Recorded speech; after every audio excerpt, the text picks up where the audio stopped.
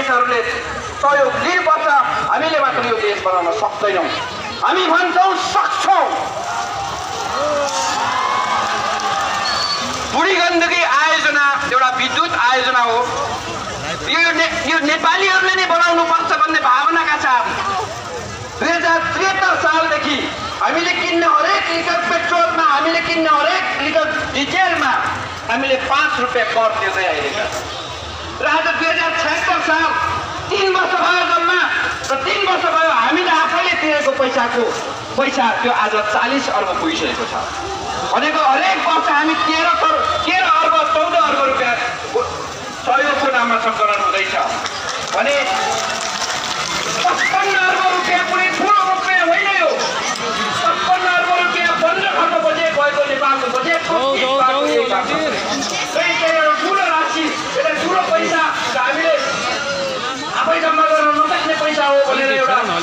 ऋणको सामु विदेशी शक्तिको सामु झुक्ने शासकहरूले आज काम।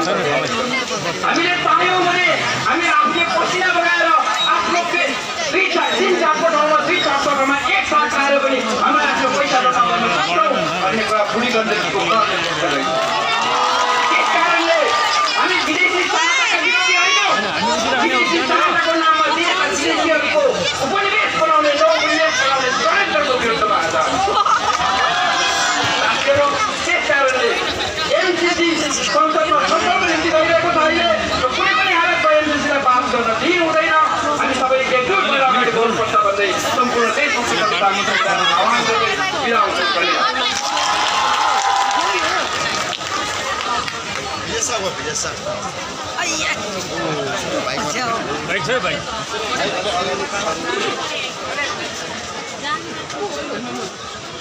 उपस्थित आदरणीय साथीहरू यदि हाम्रो संसदले यो एमसिसी परियोजना सम्बन्धी सम्बन्धी सम्झौता पारित भएको खण्डमा हाम्रो देश हाम्रो प्राणभन्दा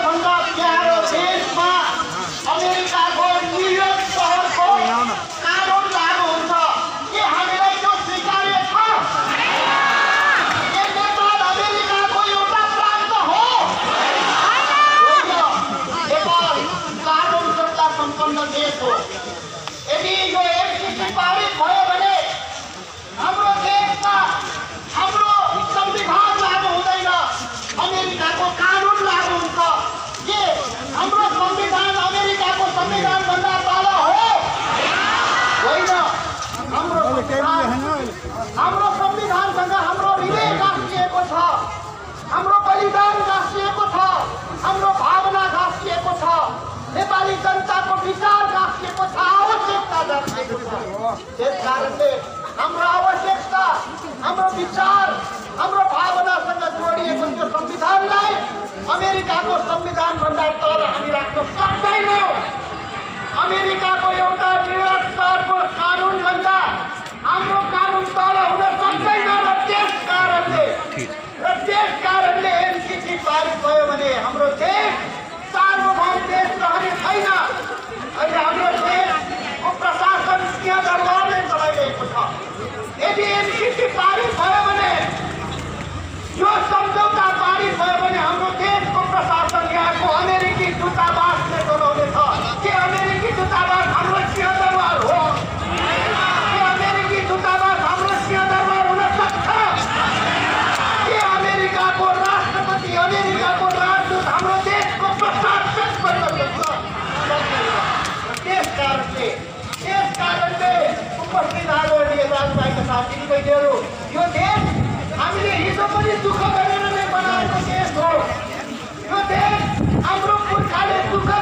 बनाएको देश हो हामी फेरि पनि दुःख समृद्धि र विकासको चाहना हामी हाम्रै दुःखबाट पारित गरौँला पुरा गरौँला तर कसैजना भिख मागेर हामी यो देशको समृद्धिको नाममा लाग्ने काम स्वीकार्न सक्दैनौँ एनसिसी एनसिसी दासताको दस्तावेज हो। एमसिसी दासताको दस्तावेज हो दासज्यू संसारबाट धेरै अगाडि नै ध्वस्त भइसकेको छ विदा भइसकेको छ। नेपालमा हामी फेरि अर्को दासज्यू ल्याउन चाहँदैनौँ। हामी बङ्गलादेशका दास बन्न चाहँदैनौँ। हामी सार्वभौम नेपाली भएर बाँच्न चाहन्छौँ। त्यस कारणले हामी ओली सरकारलाई भनिराखेका छौँ। हामी ओली सरकारलाई भनिराखेका छौँ। कसै कारणले पिक मागेर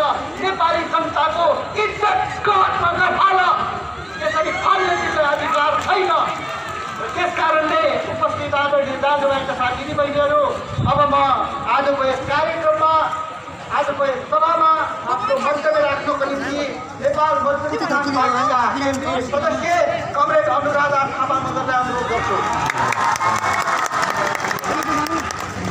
कर हाँ? लाग्दैन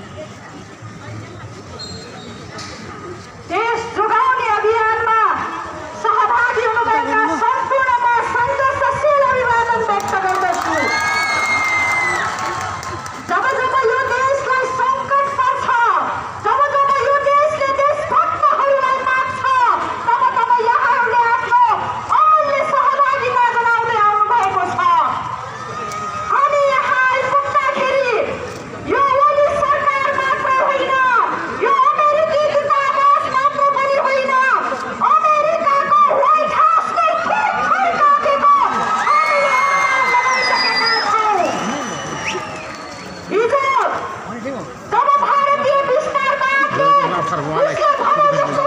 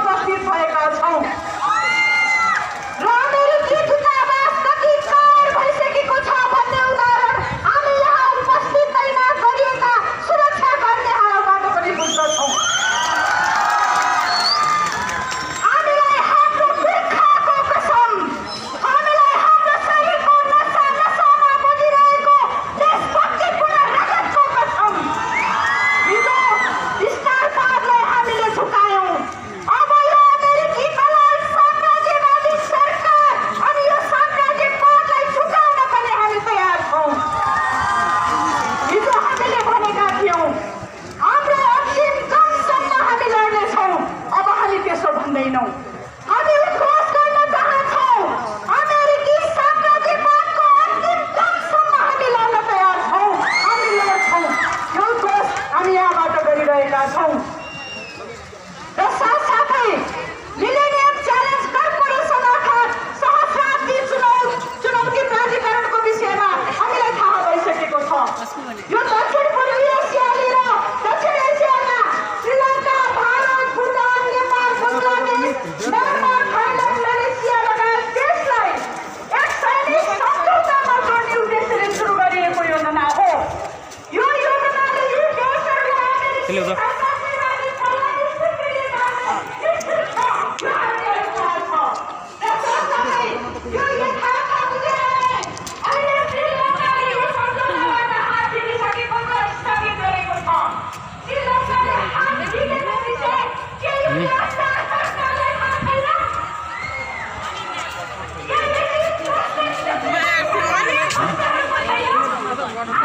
ठ्याक्कै